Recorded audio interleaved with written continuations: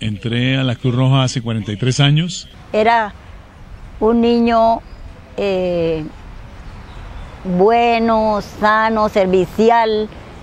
Entonces le llegó la oportunidad de la Cruz Roja y muy jovencito, creo que 10 años o un poco, algo así, más o menos. Eh, entró a la Cruz Roja y no queríamos mucho porque no sabíamos cómo era eso, ¿cierto? Sobre todo el papá. Pero yo sí le, le acolitaba más eso, pues, que él entrara, porque a mí me parecía bonito eso.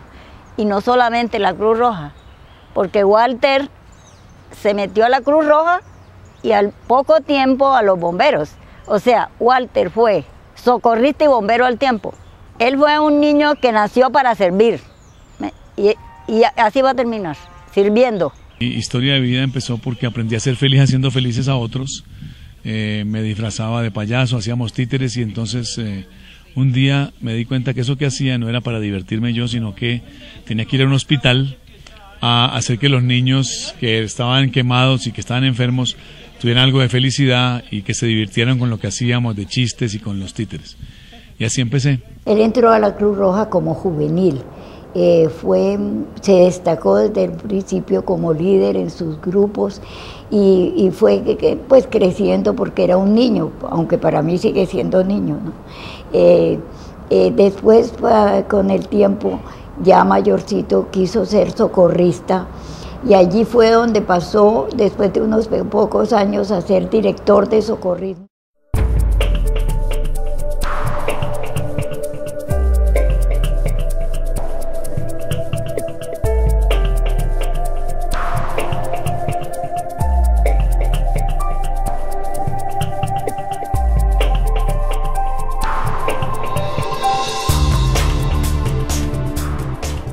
Walter Cote, cuando yo llegué a la Cruz Roja en el año 1975, lo conocí como voluntario, era pues hace 37 años, casi 38.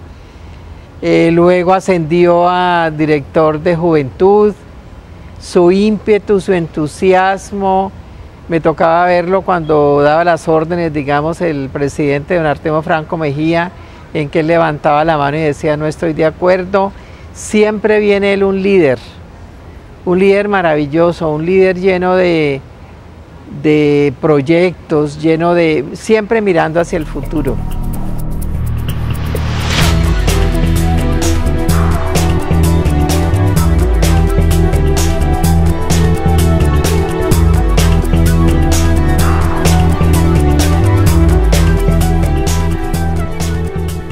Viajó al exterior con la Cruz Roja, se fue preparando, fue creciendo en la institución y realmente ha sido una persona seria, una persona, a pesar de su seriedad, es muy agradable, muy querido, se hace lo hace sentir siempre bien a uno junto a él. Eso yo creo que es de los dotes mejores que él tiene.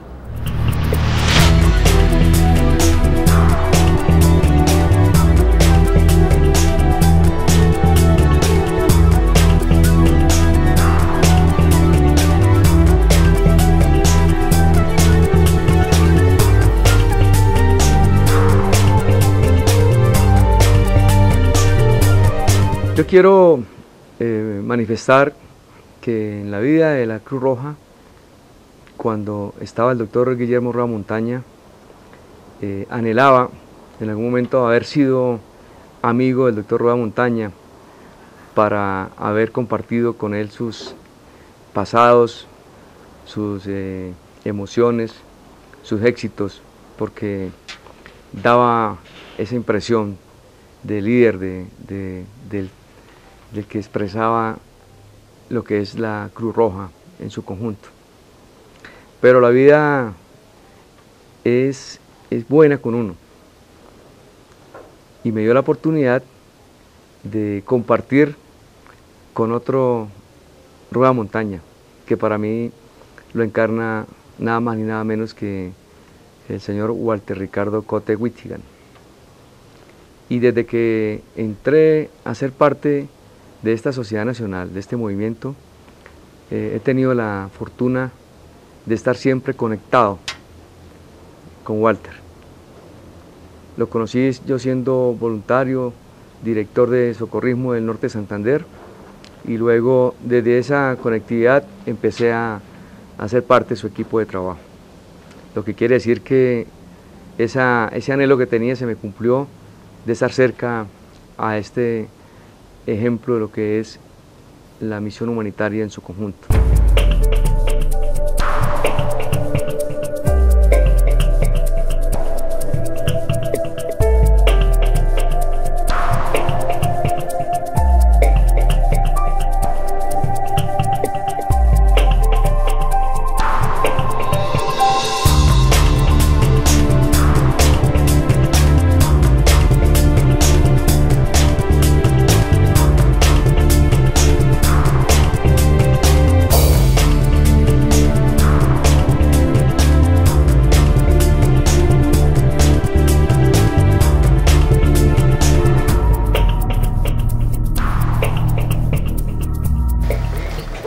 Las normas no podemos verlas de manera porque hay unas son muy especiales y en este caso pues no podíamos hacer otra cosa. Ellos tienen unas normas también que tenemos que respetar. Es posible con, las, eh, con la prensa, pero siempre y cuando la prensa no afecte las actividades de rescate. Primero están las actividades de rescate y de salvamento y pretende estar con toda la capacidad y con mayor modernidad y potencia para ayudar a las víctimas y para ayudar a la gente a que deje de ser víctima. Eso es nuestro principal objetivo. Pero sobre todo que tengamos voluntarios felices, que puedan hacer que las comunidades en Colombia, las víctimas y los vulnerables, puedan recibir el beneficio de los programas preventivos, los programas de respuesta, los programas de recuperación y toda la ayuda humanitaria que esta Cruz Roja Colombiana pretende darle a la gente que sufre en nuestra patria que todas las entidades que estamos aquí reunidas trabajemos en equipo, generemos redes y podamos mejorar la suerte de esos niños para el futuro, generar ciudadanos de bien, gente que no haya sido violentada y sobre todo que reconozca y haga cumplir sus derechos. La afectación por seccional la está manejando el equipo de información del Socorro Nacional junto con, el, con la gente de del terreno y estamos coordinando para que todos ustedes tengan la información adecuada. Sale por boletines, todo por escrito, nadie de nosotros inventa nada, todo es por escrito. Todo tiene que ser justificado por los informes de la seccional. Que yo, como ser humano, tengo el deber de no dañar la naturaleza, de ser un buen ciudadano con el clima, de evitar más daño ecológico del que existe y luego también hacerlo como, como, familia, como comunidad, como empresa. Ser buenos ciudadanos con el clima implica que nace, nace desde lo individual, comportamientos individuales, para después volverlo empresa. Y la última información que tenemos es tal, y, entonces, porque me podría decir en la anotación, se hicieron tales acciones preventivas o, proactivas, no funcionaron, no, porque no, puede que hagamos las acciones y no funcionen, también puede pasar. Que todas las entidades que estamos aquí reunidas trabajemos en equipo, generemos redes y podamos mejorar la suerte de esos niños para el futuro, generar ciudadanos de bien, gente que no haya sido violentada y sobre todo que reconozca y haga cumplir sus derechos. Tenemos 72 escenarios de diferentes órdenes, hay colapsamientos de edificaciones, de accidentes vehiculares, eh, incendios, explosiones, eh, alguna emergencia en el aeropuerto, todas estas son emergencias simuladas. Un ejemplo maravilloso, un ejemplo como voluntario, como persona y como ciudadano colombiano. En la Cruz Roja he pasado por muchos cargos, he aprendido mucho, pero nunca se me ha olvidado servir y hoy en día quiero compartir con todos ustedes que me voy para la Federación de Sociedades de la Cruz Roja y Medialuna Roja como subsecretario general de Programas y Servicios y ese es un éxito de la Cruz Roja Colombiana.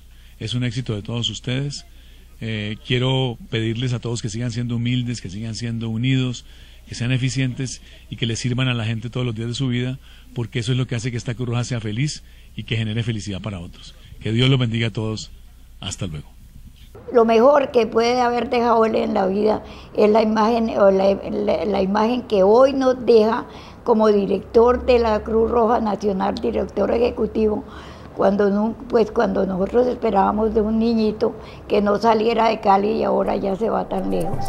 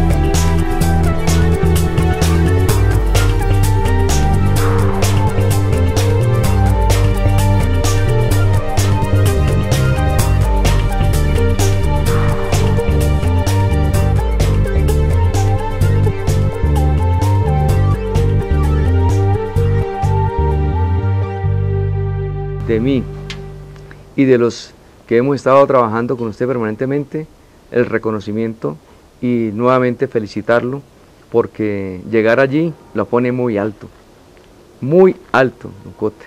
Yo le he seguido los, pasos a usted, pero cada vez es, más imposible, hermano, y, y, sí quiero decirle que póngala más, más, un poquito más suave porque es que usted vuela y llegar ahí la puso muy difícil. Que Dios lo guarde, Dios lo ilumine y todo lo que nosotros podamos hacer desde cualquier posición estaremos dispuestos para acompañarle y apoyarle en lo que sea conveniente.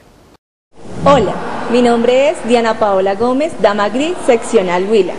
Hola Walter, soy Joana Serna, socorrista de la seccional Boyacá del Grupo de Apoyo de la ciudad de Paipa. Mi nombre es Mónica Valderrama, juvenil de la seccional Cauca.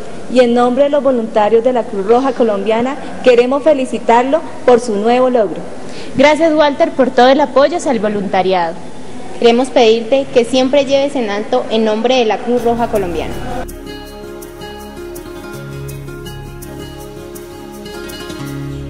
Con la gente que me gusta, me dan las claras del alba, compartiendo madrugada, palabras, risa y luna